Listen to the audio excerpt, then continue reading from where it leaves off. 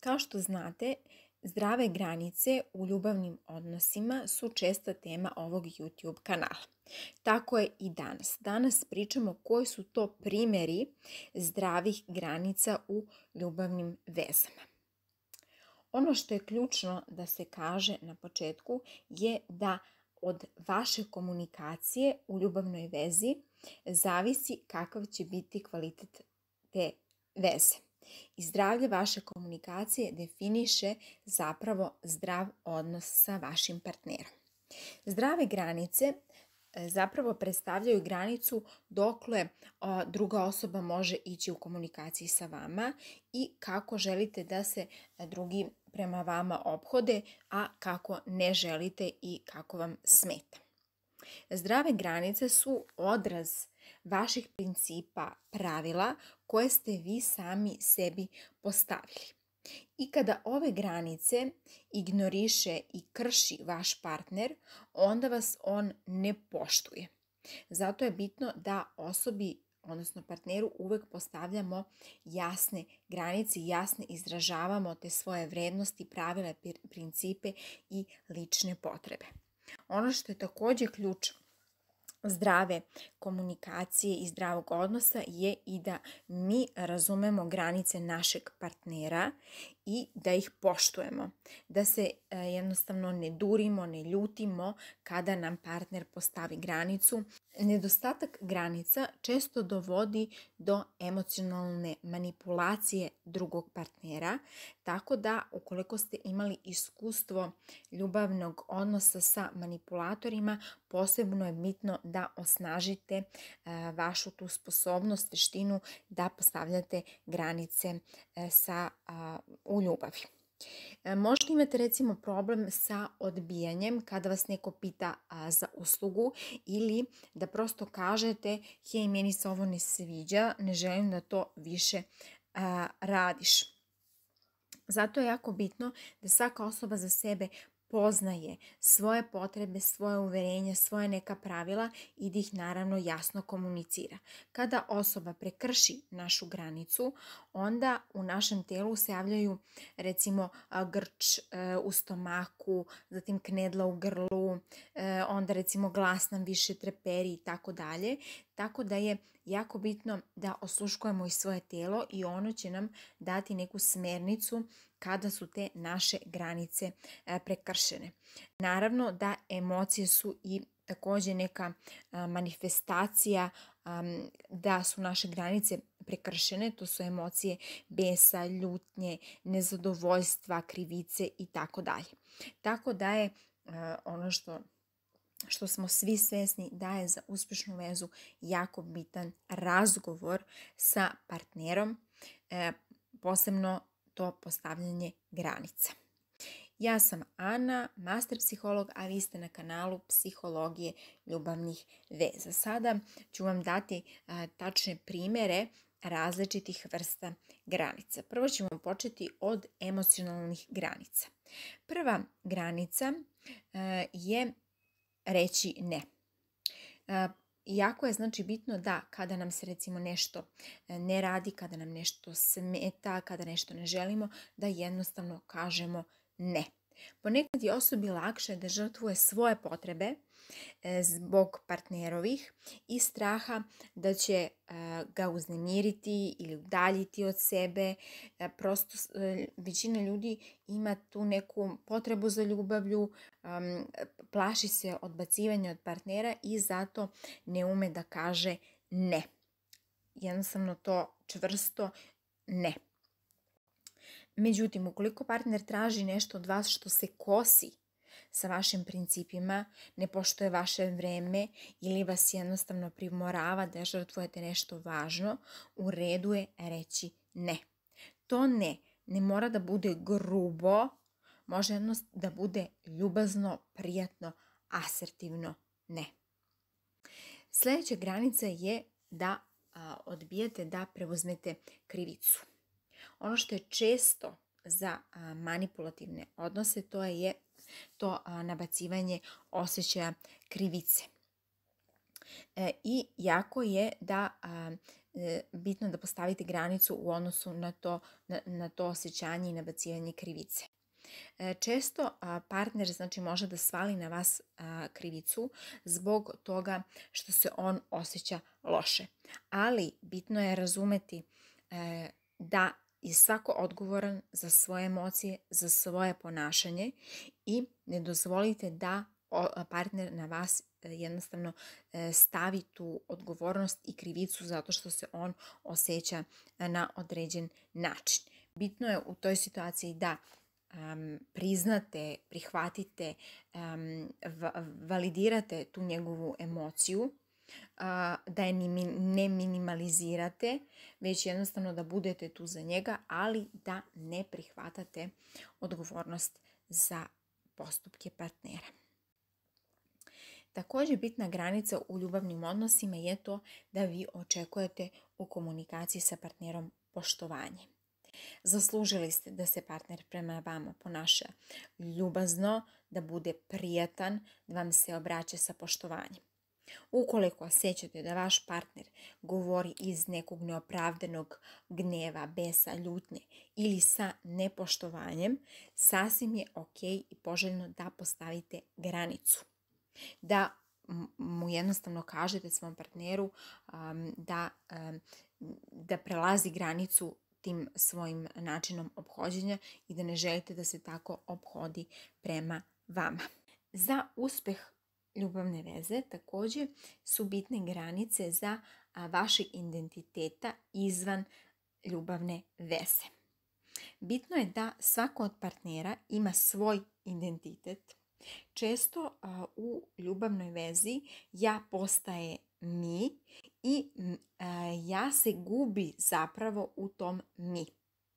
E, zapamtite da ste vi celina, da vi niste deo celina, da vi imate svoje interesovanja, svoje strasti, svoj život, svoje prijatelje, svoju karijeru i da od svim tim segmentima života treba da se bavite, a ne samo ljubavlju i tim partnerom. O e, suovisnosti, odnosno ko zavisnosti, e, sam već pričala, to je to stapanje identiteta i to je jako često u tim manipulativnim odnosima, tako da ukoliko gubite sebe u ljubavnim odnosima, potrebno je da e, proučite temu ko zavisnosti. O, link za ovaj video ostavit ću vam u opisu ovog videa.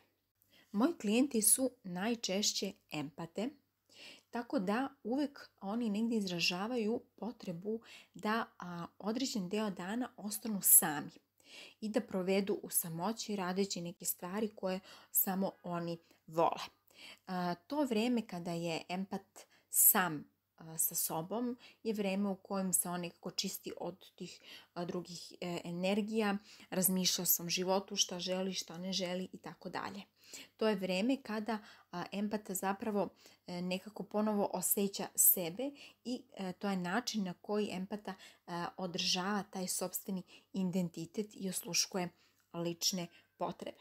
Zato je za empate posebno bitna ta granica traženja prostora i vremena za sebe. I često se dešava da moji klijenti dođu na, na konsultacije i sa nekim sa nekim ustezanjem kako da kažu oni to partneru, kako da izraze tu svoju potrebu da ostanu sami jedan sat, dva sata tokom dana, kako bi prosto oslušnuli više sebi i kako bi se vratili sebi. Ali to upravo prelazimo između ostalog i na tim našim psihološkim seansama. A evo sada ću recimo na sredini ovog videa reći da načine na koji možete postaviti sve ove granice koje ću pobrojati u ovom videu možete naći u mom priručniku samopouzdane komunikacije u ljubavnim odnosima. U tom priručniku imate brojne primere, strategije, taktike, konkretne rečenice kako vi možete postaviti granice. U svim ovim slučajevima o kojima sam sada pričala u ovom videu. Također sam radila veliki broj videa sa ovom temom, tako da pretražite moj YouTube kanal i naći ćete i načine kako da kažete ne i kako da postavite granicu i kako sa manipulatorima u ljubavnoj vezi i tako dalje i taj priručnik možete naručiti preko mog maila, a mail vam ostavljam u opisu ovog maila u ovog videa, pardon, i na taj mail mi se javljate također i za psihološke seanse. Sljedeća granica koja je jako bitna u ljubavi je komuniciranje nelagodnosti. Jako je bitno da ako recimo vaš partner priča za, neku, za vas neku uvredljivu šalu ili prelazi neku granicu, to u vama stvara taj osjećaj nelagodnosti, bitno je da odmah na samom startu postavite granicu i da kažete jednostavno smeta mi to što radiš, prestani to da radiš, stvara mi nelagodu. Ili ne sviđa mi se kada to i to radiš. Dakle, onako kratka jedna rečenica uh, izrečena u tom nekom izjavnom maniru sa osjećanjem da naravno želite da vaš partner vama stvara taj osjećaj prijatnosti, a ne neki osjećaj neprijatnosti i nešto što vam prosto ne godi. Postavljanje granice je zapravo zauzimanje za sebe. Često kada kažem zauzimanje za sebe, mislim e, za zauzimanje e, za neke svoje stavove, za neke svoje vrednosti, da jasno komuniciramo o tome sa partnerom i zašto nešto e, želimo, šta je nama potrebno, koje su te neke naše vrednosti. Zauzimanje za sebe se odnosi i na to ukoliko je recimo partner bio ljud pa je rekao nešto recimo kao što on kaže, što se recimo, pa se kasnije kaje za to ili je bio nekako grub, da jednostavno postavimo granicu u odnosu na to i da stavimo do znanja partneru da ne želimo takav tretman ili da ćemo prosto napustiti razgovor ili otići ako se partner ponovo na taj način bude ponašao. Sljedeća granica odnosi se na ranjivost. Ranjivost jeste važna komponenta zdrave veze i bitno je da imamo tu slobodu da budemo ranjivi sa partnerom, a da on to ne iskoristi. Ali e, bitno je biti ranjiv kada mi osjećamo da je vreme za. Ne smemo u vezi biti na neki način saterani u ćošak ili primorani da izrazimo neko, neko svoje osjećanje ili da pričamo o nekim temama za koje nismo spremni kada budemo spremni, mi ćemo pričati o tome. I zato je bitno postavljati granice u odnosu na tu našu ranjivost, odnosno govoriti o nekim za nas osjetljivim temama kada mi želimo i ne podleći pritisku da se o tome priča kada partner o tome želi. Sada prelazimo na primere ličnih granica. To je pravo na privatnost to se često krši u današnjim ljubavnim vezama, odnosno recimo to se odnosi na Facebook, na Instagram, na te društvene mreže, na telefon, na kućni računar, na e-mail i tako dalje. Ukoliko vama smeta da vaš partner vama gleda te neke društvene mreže e, i tako dalje, da osjećate da na taj način ugrožava vašu privatnost, bitno je postaviti granicu na vreme.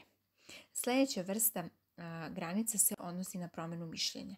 Svako od nas menja mišljenje i ako se mislite u odnosu na, nešto, bitno je to naravno da saopštite partneru uz neko objašnjenje zašto ste promijenili svoje mišljenje, a partner ne bi smeo da se lopše ophodi prema vama zbog toga, niti da vas jednostavno tera da se osjećate krivim i odgovornim za to. Sasvim je ok promeniti mišljenje. Vaši izbori su vaše odluke. Sljedeće pravo je pravo na sobstveno vreme. E, recimo, jedan partner želi da nedelju uveče provede pišući svoje ciljeve za narednu nedelju sam kod kuće, dok drugi partner želi da ide recimo na e, futbal sa prijateljima. I sasvim je to ok i niko ne treba da pravi kompromis u odnosu na to kako ovaj drugi partner želi da pravi, provodi to vreme. U smislu da ako se vama više sedi kod kuće da pišete svoje ciljeve, partner želi na futbal i želi da mu se vi pridružite, apsolutno je ok da postavite granicu u odnosu na to kako vi želite da provodite svoje vreme. Također je bitno to postavljanje granica kada su intimni odnosi u pitanju. Šta, kada ste vi zapravo spremni na te neke intimne odnose, da li vam se nešto sviđa u tom intimnom segmentu ili ne, koje su te neke vaše fantazije, šta vi želite, šta vi ne želite i nikako naravno ne, ne smijete da osjećate pritisak da vas partner tera na nešto za šta niste spremni ili što ne želite. Sljedeće granice se odnose na e, izražavanje tih duhovnih granica. Vaša uverenja su vaša, bez obzira na to koliko zajedničkog imate sa partnerom u smislu e, neke duhovnosti, religije ili nekih uverenja. I bitno je da partneri međusobno poštuju njihova uverenja, da, i da jedan dru, e, znači da se partneri jednostavno um, pruže prostor ovom drugom partneru da on neguje i postiče e, sebe u tom duhovnom smislu. Sljedeće granice se odnose na granice koje nas čuvaju da ostanemo verni sebi važnim principima. Principi i vrednosti su jako bitni svakoj osobi i ne bi trebalo da se osjećate kao pod pritiskom, presijom da usvojite stavove partnera e, iz straha straha da će se partner uznemiriti, da će vas odbaciti, da će imati neko loše mišljenje o vama i tako dalje. Tako da je potrebno zauzimati se za svoje principe i svoje vrednosti komuniciranje fizičkih potreba kao što su vreme za san, onda recimo neke granice koje su vezane za ishranu. Imam klijenta koji je vegan, međutim njegova partnerka voli da jede meso i on je zbog partnerke počeo da jede meso i to ga u suštini jako tištilo i mučilo. Osjećalo je, osjećao je kao da je on izneverio sebe, svoje principe zbog, e, zbog toga što je jeo meso. Također je bitno to komuniciranje veza, komuniciranje granica u ljubavnoj vezi vezano za te za materijalna dobra u smislu nekretnine, u smislu bankovnog računa. Često ljudi ne umeju da postave granicu u odnosu recimo na financije, na nekretnine, na te račune, kako iz straha kao da, da ne bi uznemirili tog partnera, da ne bi bili odbačeni, ali svako ima naravno pravo na da, da zadržava ta neka svoja materijalna dobra koja ima ili prosto da čini sa njima ono što on želi. To je bilo to za ovaj video. Kao što sam već rekla, e, e, za načine kako tačno konkretno postavljati granicu u svim ovim segmentima o kojima sam malo pre pričala, možete naći u tom mom priručniku samopouzdane komunikacije u ljubavnim odnosima i taj priručnik možete naručiti preko mog maila. Nadam se da vam je ovaj video bio od pomoći. Ako jeste, lajkujte ovaj video, subscribeite se na moj YouTube kanal, pritisnite i ono zvonce kako bi dobijali obveštenja da uploadujem e, video i neka moja praksa je da video uvek uploadujem ponedeljkom oko 3.30, tako nešto. Tako da, nadam se da vam je ovaj video bio od pomoći. Svako dobro i čuvajte se. Veliki pozdrav!